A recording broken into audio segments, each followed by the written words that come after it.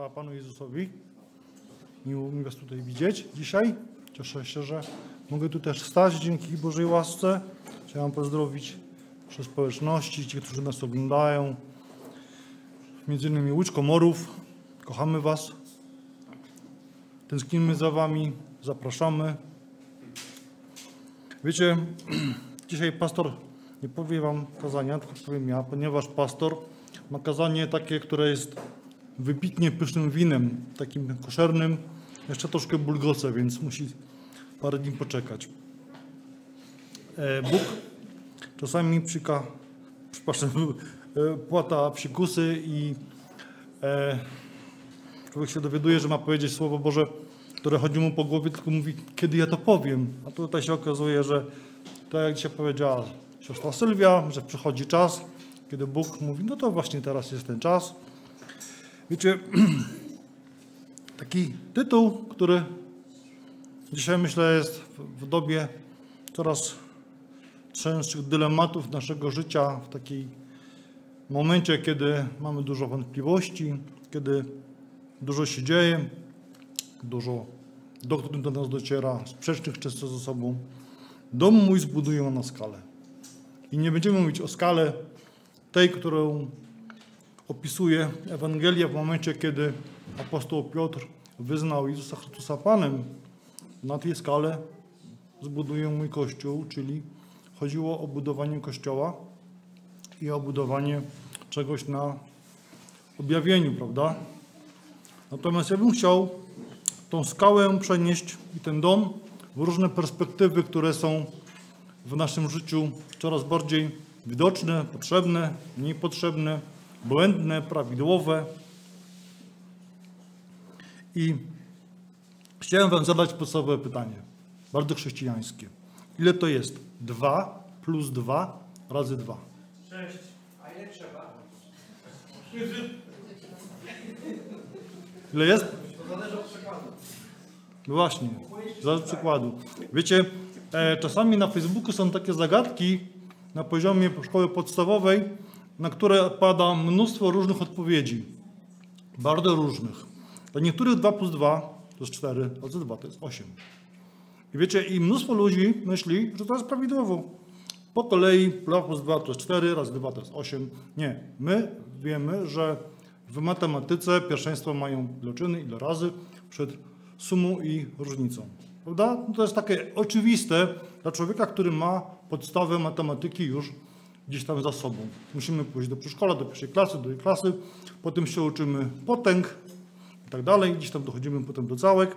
Natomiast my, żeby się nauczyć całek, potęg i różnych działań w nawiasie, musimy nauczyć się rzeczy podstawowych. Tak samo jest z podstawami wiary. Jeżeli my nie mamy podstaw wiary, to my takie działania właśnie w Biblii widzimy w sposób nieidentyczny wszyscy, tylko różny. Dochodzi do różnych sytuacji, kiedy każdy myśli co innego, każdy tłumaczy co innego. Chrześcijaństwo jest troszkę takie rozbite, ponieważ mnóstwo ludzi, którzy się dopiero nawróciło lub którzy, którym się wydaje, że się nawróciło lub którym się wydaje, że są długo w Chrystusie lub którym wydaje się, że znają Biblię, bardzo często są samotni, dochodzą sami do pewnych rzeczy, nie mają społeczności. Im się wydaje, że 2 plus 2 razy 2 to jest 8. I chciałbym zacząć może od Mateusza 7 rozdziału, bo tam jest napisany właściwie ten scenariusz, który chcieliśmy dzisiaj rozważyć. Od pierwszego wersetu. Nie sądźcie, abyście nie byli sądzeni, bo takim sądem, jakim sądzicie, i was osądzą. I taką miarą, jaką wy mierzycie, wam odmierzą. Czemu tu widzisz drzazgę w oku swego brata, a belki we własnym oku nie dostrzegasz? Albo jak możesz mówić swemu bratu, pozwól, że usunę drzazgę z twego oka, gdy belka tkwi w twoim oku. Obłudniku, wyrzuć najpierw belkę ze swojego oka, a wtedy przejrzysz, ażeby usunąć drzazgę z oka twego brata. Nie dawajcie psom tego, co święte i nie rzucajcie swych pereł przed świnie, by ich nie podeptały nogami i nie obróciwszy się, was nie poszarpały. Proście, a będzie wam dane. Szukajcie, znajdziecie. Kołaczcie, a otworzą wam. Albowiem każdy, kto prosi, otrzymuje. Kto szuka, znajduje, a kołaczącemu otworzą. Gdy którego z was syn prosi o chleb, czy jest taki, który poda mu kamień? Albo gdy prosi o rybę, czy poda mu węża? Jeśli więc wy, choć źli jesteście, umiecie dawać dobre dary swoim dzieciom, o ileż bardziej Ojciec wasz, który jest w niebie, da to, co dobre tym, którzy go proszą. Wszystko więc, co byście chcieli, żeby wam ludzie czynili i wy im czyńcie. Albowiem na tym polega prawo i prorocy. Wchodźcie przez ciasną bramę, bo szeroka jest brama i przestronna ta droga, która prowadzi do zguby, a wielu jest takich, którzy przez nią wchodzą. Jakże ciasna jest brama i wąska droga, która prowadzi do życia, a mało jest takich, którzy ją znajdują. Strzeżcie się fałszywych proroków, którzy przychodzą do was w owczej skórze, a wewnątrz są drapieżnymi wilkami. Poznacie ich po ich owocach. Czy zbiera się winogrona z ciernia albo z ostu figi? Tak łatwo każde dobre, tak każde dobre drzewo wydaje dobre owoce, a złe drzewo wydaje złe owoce. Nie może dobre drzewo wydać złych owoców, ani złe drzewo wydać dobrych owoców. Każde drzewo, które nie wydaje dobrego owocu, będzie wycięte i w ogień wrzucone. A więc poznacie ich po ich owocach. Nie każdy, kto mówi, Panie, Panie, wejdzie do Królestwa Niebieskiego, lecz ten, kto spełnia wolę mojego Ojca, który jest w niebie.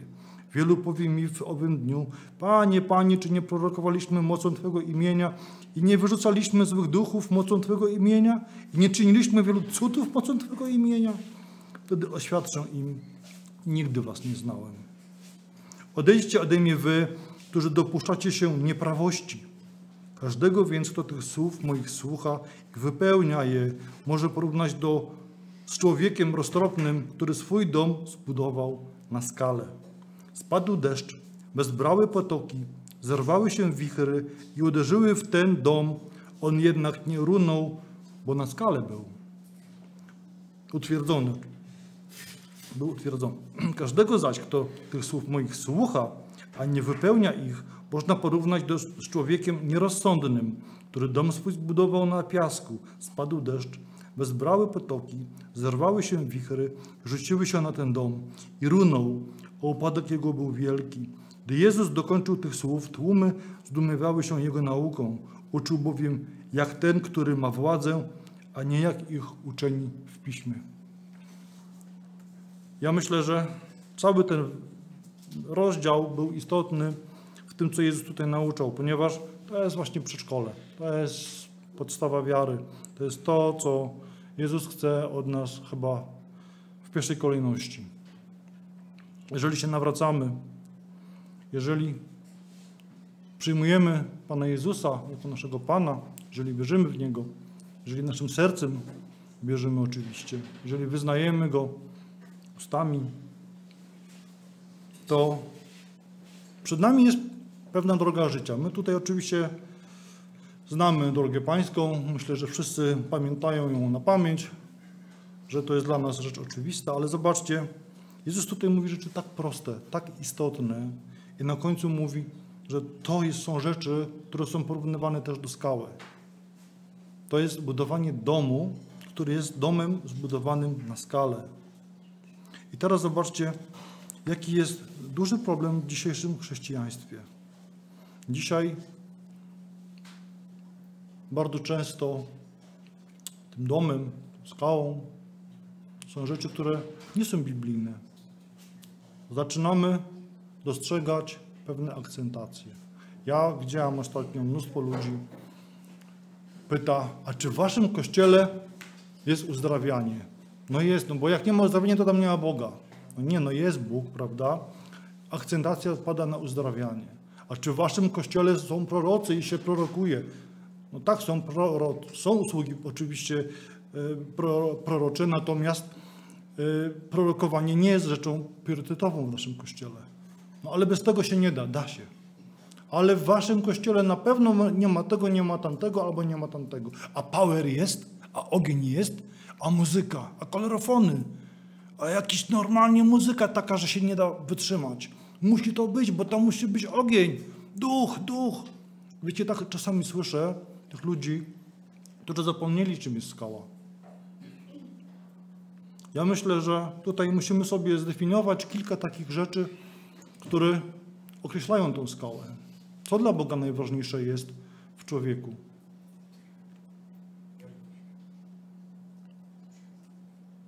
Co jest takie najważniejsze, myślę, w człowieku dla Boga?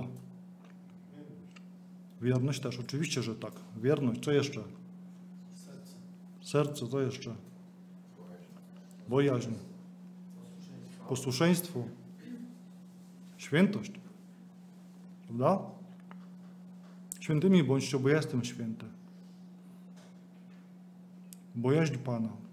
To są rzeczy, które dla nas są dzisiaj gdzieś czasami dalekie.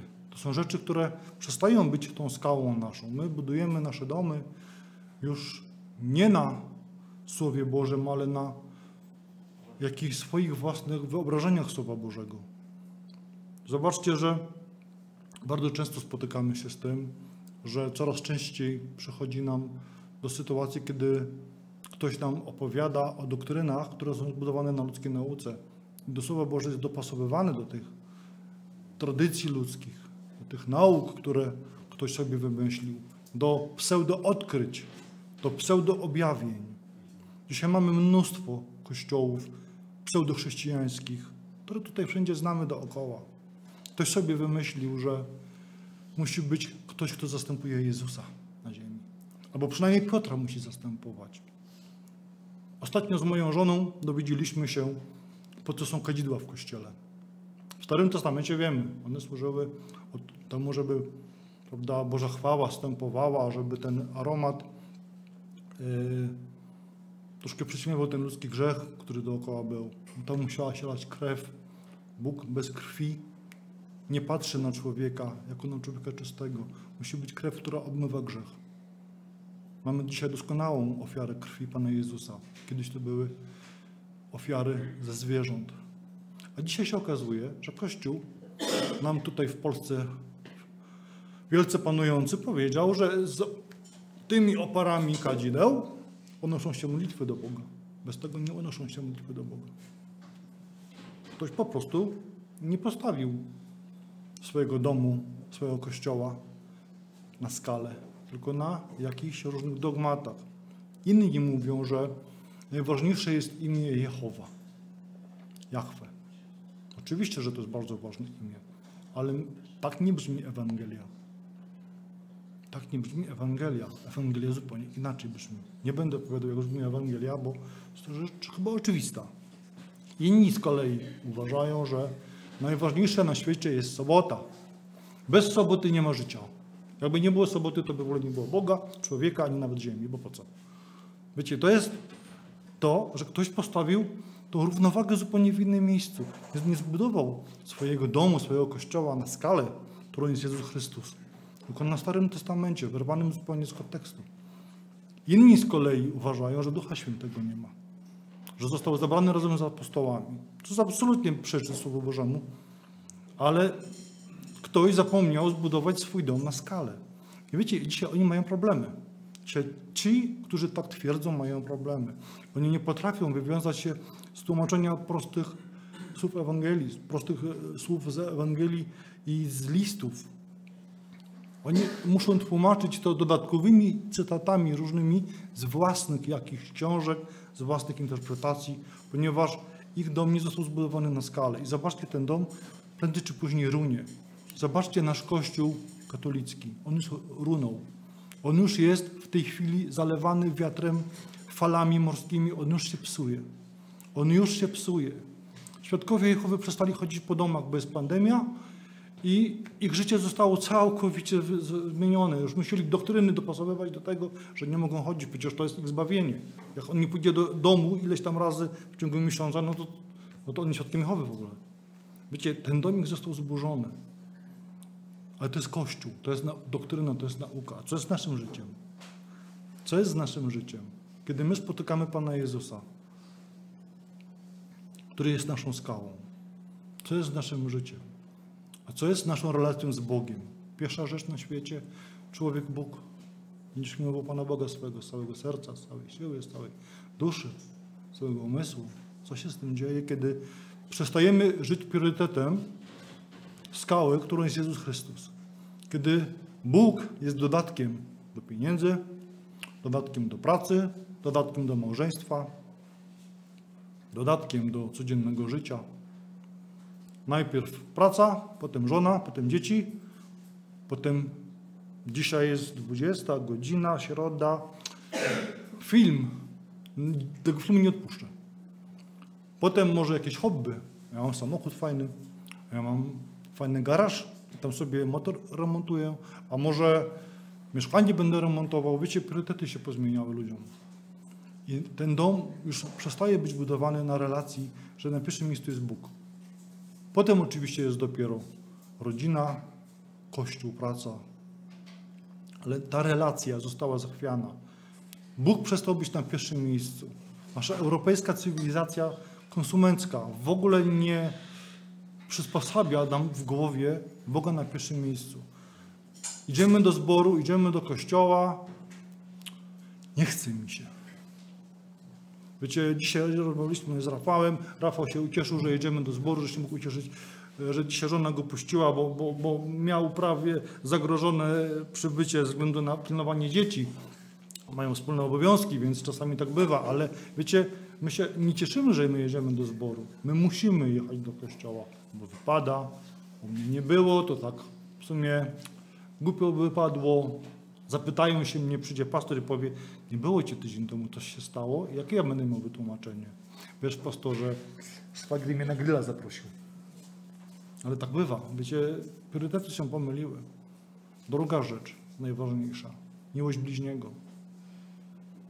Czy my miłość bliźniego opanowaliśmy na tyle doskonale, że to jest naszą skałą? Cokolwiek tam ten bliźni uczyni. Czy mu przeboczyłeś 77 razy? A może po drugim razie już go go w tyłek i powiedziałeś, wiesz co, ja z tobą nie chcę rozmawiać. Może ktoś cię oszukał. Może ktoś ci źle powiedział, źle spojrzał.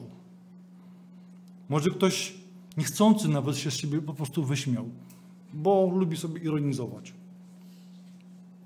Może ktoś ci coś powiedział za plecami, a ty się o tym dowiedziałeś. Może ktoś zrobił coś, co ciebie ubodło. I teraz jaka jest twoja reakcja? Jeżeli twój dom jest postawiony na skalę, to 77 razy powiesz Boże, kocham tego brata, kocham tę siostrę, cholera mnie bierze, ale kocham. I Boże, jak mnie serce boli i oczy na niego nie mogą patrzeć, tak Ty mi daj siłę, żebym mógł to uczynić. To jest skała. To jest skała, na której postawiony jest Jezus Chrystus. I ten dom się nigdy nie zachwieje, bo nigdy nie powie, że nie przyjdę do kościoła, nie przyjdę do zboru, bo się nie odezwę, bo ja z nimi nie chcę mieć żadnych relacji, bo mnie skrzywdzili. Taka sytuacja nie będzie miała miejsca. Relacja małżeńska, rodzinna, mama, tata, żona, dzieci. Czy my nasze małżeństwa, nasze relacje rodzinne budujemy na Chrystusie? Czy priorytetem jest Chrystus? Wiecie, ja wiem, jakim bólem jest rozwód, jakim bólem jest nie tylko dla małżonków, ale też dla dzieci. Wiecie, to jest największa krzywda, jaka się może stać człowiekowi. Największa krzywda, jaką można komuś sprawić, to jest powiedzieć mu, że cię nie kocham. Nie chcę być z tobą, nie chcę z tobą dzielić wspólnego łoża, nie chcę już z tobą zjadać wspólnych śniadań, kolacji. Powiedzieć dziecku, wyprowadź się z tego domu. Powiedzieć rodzicom, nie będę o was dbał. O, już mi jesteście niepotrzebni, starzy i w ogóle już macie sklerozę i nie będę wam tego sto powtarzał. Jakie są nasze relacje rodzinne? W każdej sytuacji ja wiem, że tutaj pokazuję wam w tej chwili trzy palce idą na mnie. Ja mam z moją mamą bardzo słabe relacje. Wiem, jak to wygląda, więc to nie jest tak, że tutaj kogoś kogokolwiek oskarżam, ale chcę zmotywować do tego, żebyśmy badali nasze serca, nasze motywy. Z tego względu, że jeżeli Chrystus jest w nas, to nasze życie się musi zmienić. Słowo metanoja tutaj musi mieć wielką pracę. To jest słowo lokomotywa. Jak się rozpędzi, to nie ma po prostu pomocy, żeby to zatrzymać. Duch Święty to rozpędzi w nas, jeżeli my będziemy chcieli. I zobaczcie dalej. Nasz Kościół. Dzisiejszy Kościół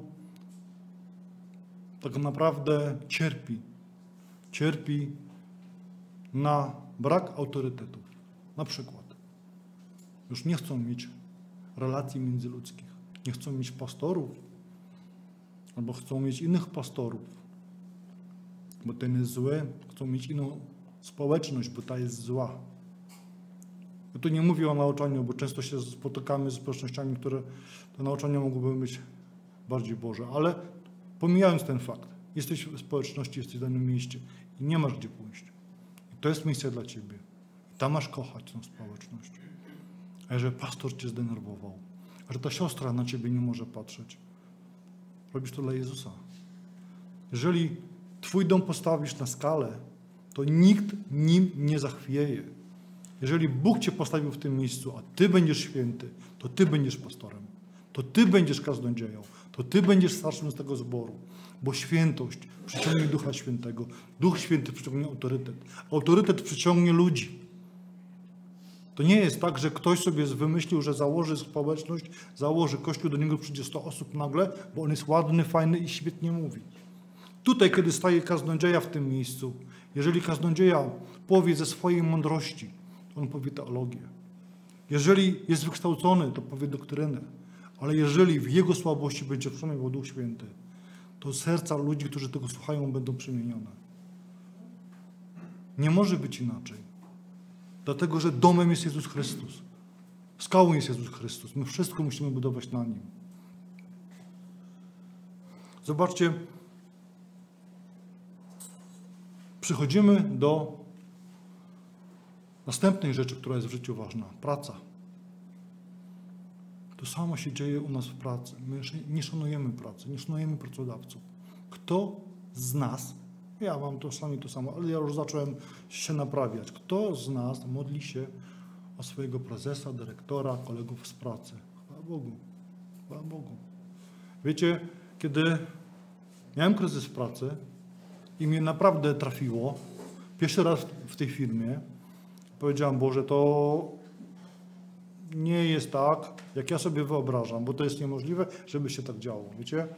I za moment, kiedy zacząłem się o tę pracę modlić, was prosiłem też o modlitwę. I dzisiaj mogę wam powiedzieć świadectwo.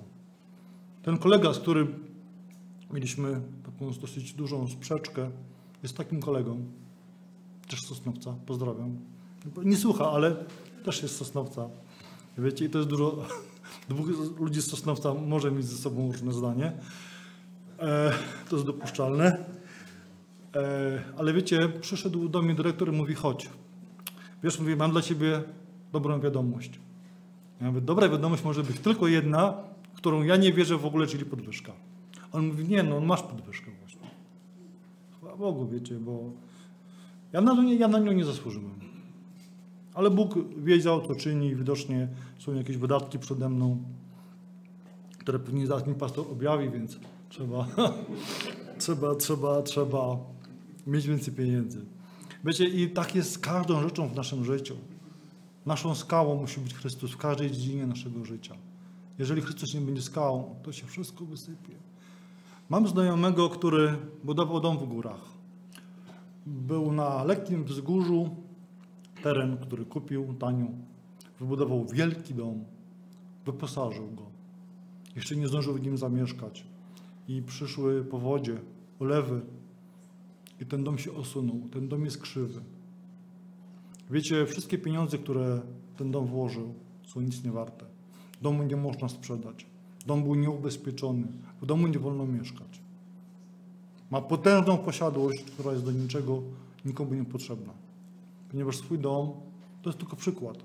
Nie zbudował na skalę, tylko zbudował na jakimś tam osuwisku. I tak jest w naszym życiu, kiedy my budujemy cokolwiek w naszym życiu. Czy to jest relacja z Bogiem, czy to jest relacja z drugim człowiekiem, czy to jest rodzina, czy to jest praca, czy to jest cokolwiek innego, to to się osunie. Zobaczcie, ile lat czasami spędzimy, ile pieniędzy wydamy, ile nerwów stracimy, ile siwych włosów nam przybędzie, ile zdrowia utracimy dla czegoś, co tak w rzeczywistości teraz przyjdzie wiatr, ulewa, fale i to zmiecie. I my wtedy się trafiamy po głowie, Boże, ale jak to się stało? I możemy wtedy wrócić do początku. Boże, tam Ciebie nie było w tym miejscu. Tam nie było Twojej obecności, nie było Twojej woli. Robiłem to, pracowałem po godzinach, nie chodziłem do zboru, budowałem dom. Pracowałem po godzinach, nie chodziłem do zboru, kupiłem samochód. Dom niestety się okazał ruiną, wiadrem bez dna. Samochód się ciągle psuje. Tak może być po prostu. Wiecie, nikomu tego nie życzę, ale chcę wam po prostu pokazać po prostu, jak czasami działa mechanizm Boży. Ponieważ Bóg nie mówi czegoś na próżno. Słowo Boże, które wychodzi z ust Bożych, zawsze wraca do Niego i wykona pracę. Te doświadczenia, które my dzisiaj mamy, możemy przeczytać w psalmach, w przypowieściach Salomona, w Starym Testamencie, gdziekolwiek natrafimy. Jest miejsce, gdzie ktoś budował swój dom nie na Bogu wtedy, tylko na własnych potrzebach. Mamy przykład Salomona. Potężne pieniądze, potężna władza, miał wszystko. I z czym został? Zobaczcie, my, kiedy spotykamy się z Jezusem, teraz troszkę będzie weselej już. E, Kiedy my spotykamy się z Jezusem, musi nastąpić w nas zmiana, metanoja. Jak ten dom budować na skalę? Jak najprościej budować dom na skalę? Pamiętacie Łotra na krzyżu? Jednego złego, jednego dobrego. Wiecie, czytałem wczoraj to Słowo Boże i pod tym kątem w ogóle do mnie do- dotarło coś takiego niesamowitego. Jeden ze złoczyńców, który tam powieszono, urągał mu, czy ty nie jesteś Mesjaszem? To jest Łukasz 23 rozdział, 39 werset i dalej. Wybaw więc siebie i nas, lecz drugi karcąc go rzekł, ty nawet Boga się nie boisz, chociaż tę samą karę ponosisz. My przecież sprawiedliwie odbieramy bowiem słuszną karę za nasze uczynki, ale on nic złego nie uczynił. I dodał, Jezu, wspomnij na mnie, gdy przyjdziesz do swojego królestwa. Jezus mu odpowiedział, zaprawdę powiadam ci, dziś ze mną będziesz w raju. Jak niewiele było potrzeba do tego, żeby stać się od przestępcy, być może mordercy, świętym. Świętym, bo nikt nie pójdzie, jeżeli nie jest święty. Jak niewiele było potrzeba. Wiecie, to było pierwsza rzecz. On musiał usłyszeć o Jezusie prędzej. To nie było tak, że on usłyszał o Jezusie na krzyżu. On pewnie już siedział w więzieniu, on już czekał na wyrok śmierci. My nie wiemy, za co on został skazany. Być może był mordercą, być może był złodziejem. Przecież Rzym karał za cokolwiek sobie tylko wymyślił na krzyżu. I sam przyznaje się, że słusznie był oskarżony. Słusznie. Taka kara mi się należała. Ale ten człowiek, który tutaj wisi obok nas, on nie ma żadnej winy. On uwierzył w Pana Jezusa. Bardzo szybko uwierzył, że jest Synem Bożym, że jest Mesjaszem. Bardzo szybko uwierzył w to, że nie jest zwykłym człowiekiem. I pierwszą rzeczą, którą zrobił, przesłał Ewangelię temu drugiemu. Mówi, zobacz, mówi, jest tutaj Zbawca. Ty już nie urągaj mu. Zobacz, że mamy w nim zbawienie. Ten drugi słyszał pierwszą Ewangelię na krzyżu. Masz w Jezusie możliwość zbawienia. Bo ten powiedział do Jezusa, Panie, wspomnij nam, gdy przyjdziesz do swojego królestwa. I wiecie, i on już uwierzył w Pana Jezusa. To jeszcze nie jest Nowy Testament, to jeszcze nie jest Duch Święty, to jeszcze nie jest Kościół, to jeszcze Stary Testament, ale on już uwierzył. Przecież czytamy cały czas w Ewangeliach i wielu uwierzyło. I wielu zostało później uczniami Pana Jezusa. I wielu potem po śmierci zostało Kościołem. Ale to był pierwszy człowiek, który nie dotrwał do Kościoła, ale został zbawiony. To był pierwszy człowiek, który bezpośrednio przyjął Ewangelię od Pana Jezusa w ten sposób. Zobaczcie, swoje życie postawił na niewłaściwej skale. Swój dom zbudował w takim miejscu, którego doprowadził do więzienia i do krzyża. I nagle stwierdził, że moją skałą będzie Chrystus. To jest motywacja, że każdy z nas w każdej chwili może stwierdzić, że jest w złym miejscu, w danej dziedzinie. I że w każdej chwili może powiedzieć do Boga: Ty jesteś moją skałą, Ty jesteś moim zbawieniem. Jeżeli coś mi nie wychodzi w życiu, to znaczy, że być może postawiłem ten dom na niewłaściwej skale. Wiecie, kiedy przychodzi spotkanie z Chrystusem, kiedy przychodzi moment, kiedy spotykamy Pana w naszym życiu. Każdy z nas spotkał Pana, bo inaczej byśmy tutaj nie byli. Każdy z nas osobiście spotkał Pana. I Pan Jezus go zbawił. Każdy z nas tutaj, który siedzi, mam nadzieję, że wszyscy z nas, mamy Pana Jezusa w swoim sercu. I On jest naszym Panem. I wykonujemy to, co nam polecił. I nasz dom budujemy na Nim właśnie.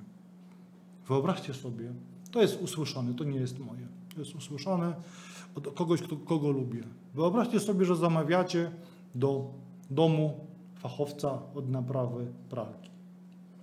No i mówicie, wie pan, pralka nie działa, trzeba to naprawić. Oczywiście przychodzi, ładnie ubrany, koszulka firmowa, wręcza nam smyczkę, książeczkę reklamową, kubeczek i pijemy sobie kawkę, rozmawiamy, jest fajny czas i on sobie poszedł. Do widzenia, do widzenia, super. I pyta się sąsiad, i co, naprawił ci tą pralkę? Nie, ale chłopie, jaki mieliśmy wspaniały czas. Kawę piliśmy, ciasto było, kubeczek dostałem, smyczkę, zobacz, i książeczkę do oglądania. Reklamową, jaką kolorową, fajną. Rozumiecie? Tak czasami jest, że ludzie przychodzą do kościoła, dostają kazanie, dostają fajne uwielbienie, ale kiedy spotkali się z Panem Jezusem, nigdy nie zostali uzdrowieni, nigdy nie zostali zbawieni. Nigdy nie postawili swojego domu na skalę. Oni dalej żyją swoim własnym życiem.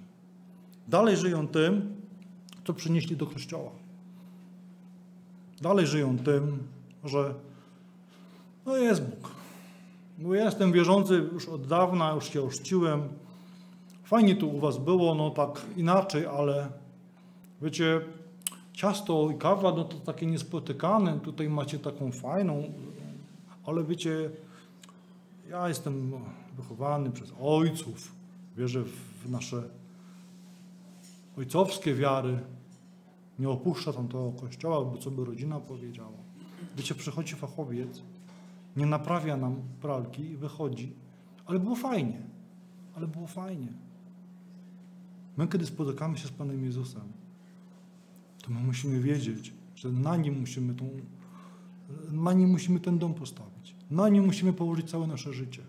Nie fragment życia, całe nasze życie. Zobaczcie, czy Ewangelia Jezusa Chrystusa to jest dwa razy, dwa plus dwa razy dwa równa się osiem, czy dwa plus dwa równa się sześć? Bo, bo zobaczcie, dzisiaj mamy coraz więcej teologów, coraz więcej doktryn, coraz więcej nurtów. Mamy dzisiaj nurt, który przoduje jakby w pewnych rzeczach. Jeden, drugi, trzeci, czwarty nurt. I to nie są te zmiany typu od Kościoła katolickiego przez protestantyzm, uświęcenie, baptyzm, pentakonizm do reformy teraz, której mamy, e, jeżeli chodzi o nowe narodzenie. Tylko są ruchy wiary, ruchy uzdrowieńcze, ruchy uwielbienia, ruchy muzyczne, gdzie się zupełnie troszeczkę jakby odeszło od pewnych rzeczy. Czy kiedy budowniczy, który ma doskonały przymiar, ma doskonałą poziomnicę i wybuduje równo dom według tej poziomnicy, czy ten dom stanowi dalej poziomnicę? Nie. Poziomnica zostaje poziomnicą, a dom pozostaje domem. Ten dom się może zachwiać. Ten dom może być nagle krzywy, może osiąść. Nigdy nie będzie poziomnicą. Poziomnica pozostaje poziomnicą. Słowo Boże zostaje zawsze Słowem Bożym. Duch Święty pozostaje Duchem Świętym. I Duch Święty nigdy, nigdy, nigdy nie zaprzeczy temu, co tu jest napisane. Jeżeli ktoś mówi, że Duch Święty powiedział mu coś, jest w tym przekonany i ma w tym mnóstwo wielbicieli, że Duch Święty powiedział coś, czego tutaj nie ma, co jest z tym sprzeczne, to jest zaprawdę nie Duch Święty. To przemyślcie ten fundament, na którym ktoś chce postawić swój kościół, czy swój dom, czy nawet swoją rodzinę, czy samego siebie, bo to się zachwieje i to upadnie.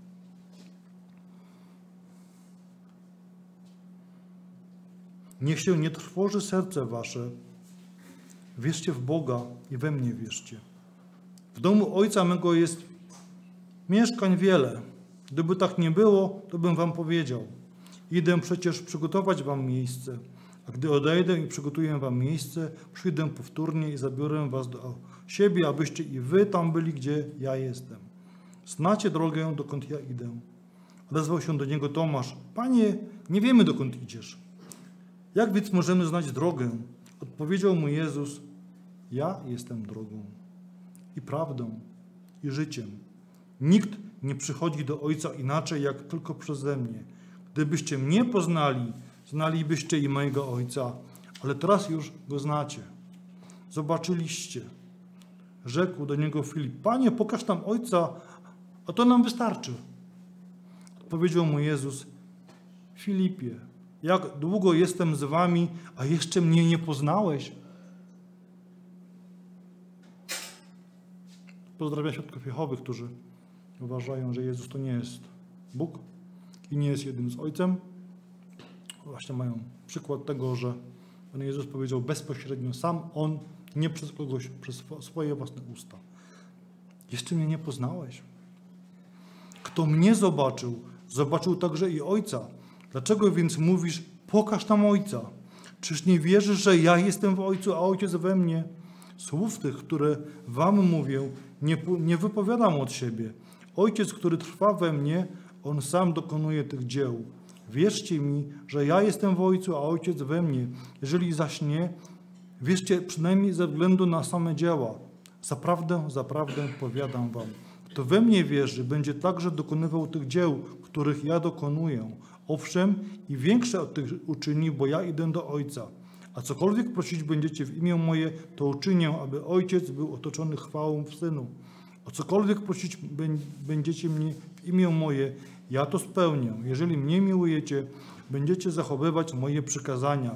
Ja zaś będę prosił Ojca, a innego pocieszyciela da wam, aby z wami był na zawsze. Na zawsze. Nie do końca apostołów, żeby nie było niedopowiedzeń.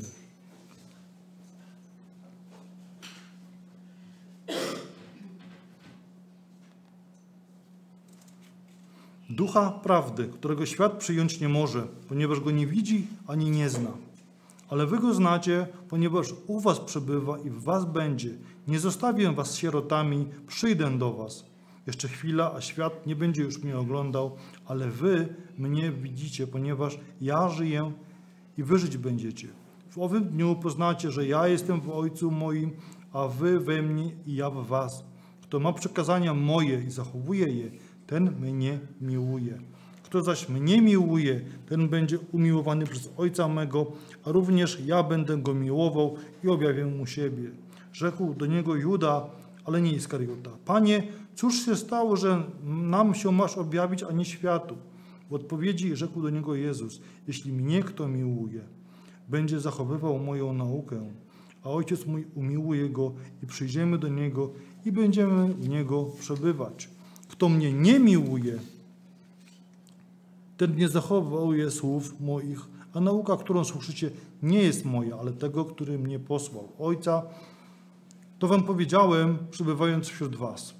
A pocieszyciel, Duch Święty, którego Ojciec pośle w moim imieniu, On was wszystkiego nauczy i przypomni wam wszystko, co ja wam powiedziałem.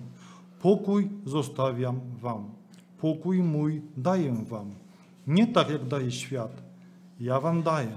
Niech się nie trwoży serce wasze, ani się lęka. Słyszeliście, że wam powiedziałem, odchodzę i przyjdę znowu do was. Gdybyście mnie miłowali, rozradowalibyście się, że idę do Ojca, bo Ojciec większy jest ode mnie. A teraz powiedziałem wam o tym, zanim to nastąpi, abyście uwierzyli, gdy się to stanie. Już nie będę z wami wiele mówił.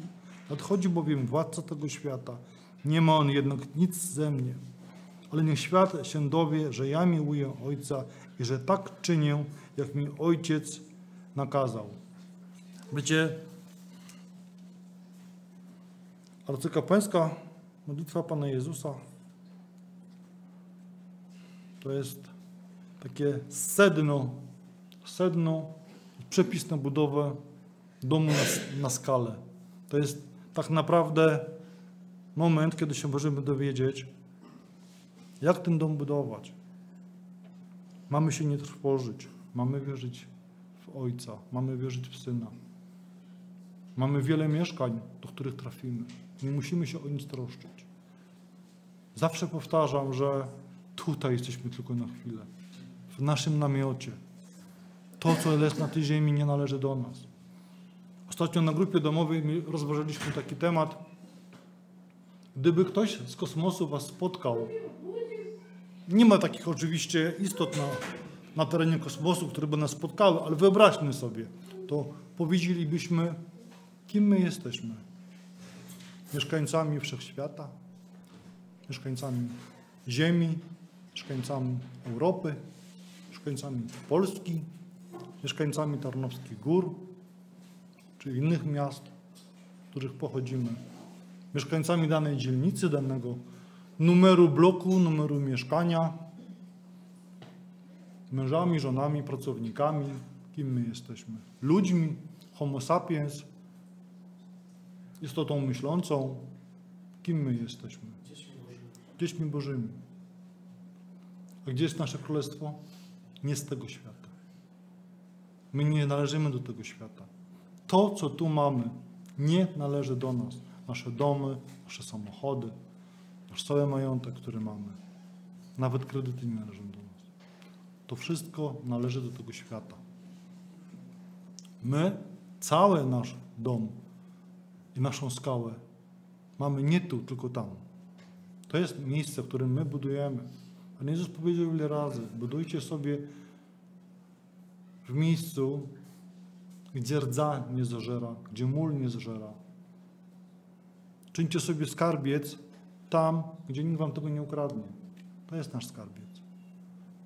Jeżeli potrafimy przebaczyć 25 raz, bo ktoś nas oszukał, bo ktoś nam złorzeczył, bo ktoś zrobił nam krzywdę, to tam, wiecie, takie monetki się sypią po prostu jedna za drugą. Ten nasz skarbiec. Tam się sypią. Tutaj mamy ujmę. W tym temacie polecam przypowieści Salomona albo psalmy. Bo kto przyjmie tutaj ujmę za, za brata swego, tam dostanie nagrodę. Wiecie, nam bardzo często naszą skałą jest nasz honor, nasze ja, nasze ego. My budujemy sobie coś, co wydaje nam się właściwe, honorowe. Jestem patriotą, no może jestem jakimś kibicem, wiecie. Są różne rzeczy, które są dla nas priorytetami w naszym życiu. Dla niektórych priorytetem może być na przykład dziecko, żona, nauczanie, dane miasto, klub sportowy, cokolwiek sobie tylko wymyślimy. To jest cała masa tego. To nie jest jed- jedna rzecz, tego się nie da opowiedzieć. I wiecie, i teraz to jest tak, że to jest tak, że przychodzi ktoś i mówi: Ja uważam inaczej. A się spotykam z takimi ludźmi. A co ty tam wiesz? A skąd ty wiesz, że tak w Biblii jest napisane? A skąd ty masz Biblię? A skąd ty wiesz, że to się tak powinno interpretować? Skąd ty wiesz to? A skąd ty wiesz tamto? I tak cały czas. A może to jest inaczej? A tamci inaczej wierzą. Wiecie, ile jest budowanych domów i kościołów na skalę, którą nie jest Jezus Chrystus? Cała masa. Cała masa.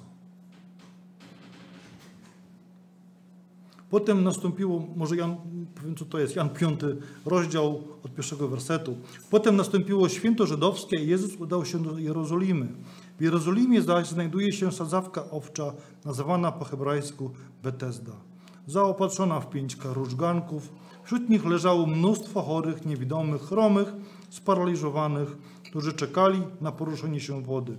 Anioł bowiem wstępował w stosownym czasie i poruszał wodę. A kto pierwszy wchodził po poruszeniu się wody doznawał uzdrowienia, niezależnie od tego, na jaką cierpiał chorobę. Znajdował się tam pewien człowiek, który już od lat 38 cierpiał na swoją chorobę. Gdy Jezus ujrzał go leżącego i poznał, że czeka już długi czas, rzekł do niego: Czy chcesz stać się zdrowym? Odpowiedział mu chory: Panie, nie mam człowieka, aby mnie wprowadził do sadzawki. Gdy nastąpi poruszenie wody, gdy ja sam już dochodzę, inny wchodzi przede mną. Rzekł do niego Jezus: Wstań, weź swoje łoże i chodź. Natychmiast wyzdrowiał człowiek, wziął swoje łoże i chodził. Jednakże dnia tego był szabat. Rzekli więc Żydzi do uzdrowionego, dziś jest szabat, nie wolno ci nieść twego łoża. On im odpowiedział, ten, który mnie uzdrowił, rzekł do mnie, weź swoje łoże i chodź. Pytali go więc, cóż to za człowiek ci powiedział, weź i chodź.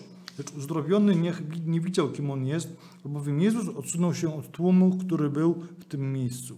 Potem Jezus Znalazł go w świątyni i rzekł do niego: Oto wyzdrowiałeś. Nie grzesz już więcej, aby ci co się gorszego nie przydarzyło. Człowiek ów odszedł i doniósł Żydom, że to Jezus go uzdrowił. I dlatego Żydzi prześladowali Jezusa, że to uczynił w szabat. Lecz Jezus im odpowiedział: Ojciec mój działa, aż do tej chwili ja działam.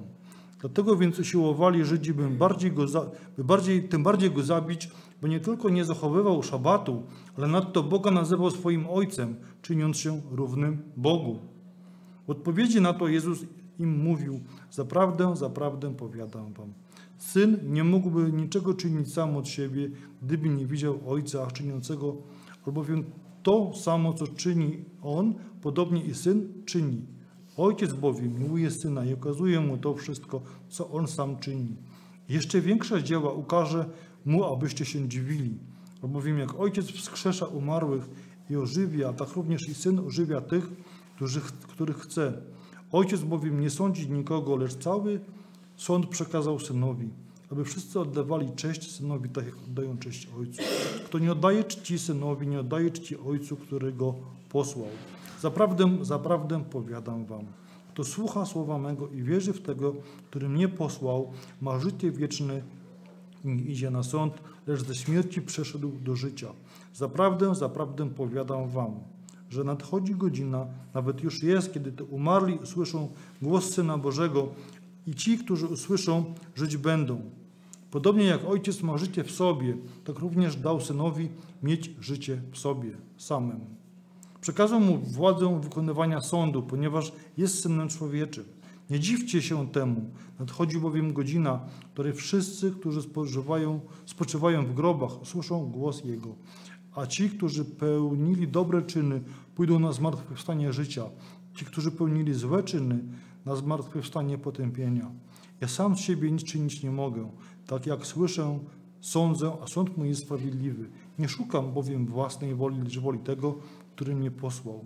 Gdybym ja wydawał świadectwo o sobie samym, sąd mój nie byłby prawdziwy. Jest przecież ktoś inny, kto wydaje sąd o mnie, a wiem, że sąd, który o mnie wydaje, jest prawdziwy. Wysłaliście poselstwo do Jana i on, świadectwo, i on dał świadectwo prawdzie. Ja nie zważam na świadectwo człowieka, ale mówię to, abyście byli zbawieni. On był lampą, co płonie i świeci. Wy zaś chcieliście radować się krótki czas Jego światłem.